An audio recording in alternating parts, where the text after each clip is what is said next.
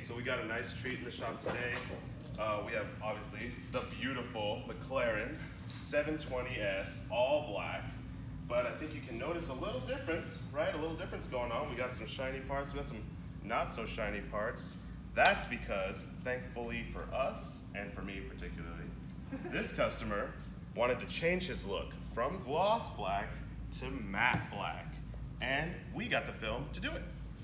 So we're putting XPEL stealth film on it, and this uh, sexy street monster is about to turn into the Batmobile.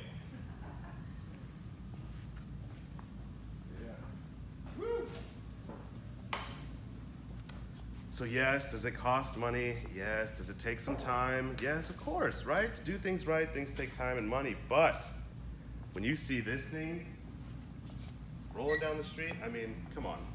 That's worth it. That's worth it. And it's expelled. It's protected.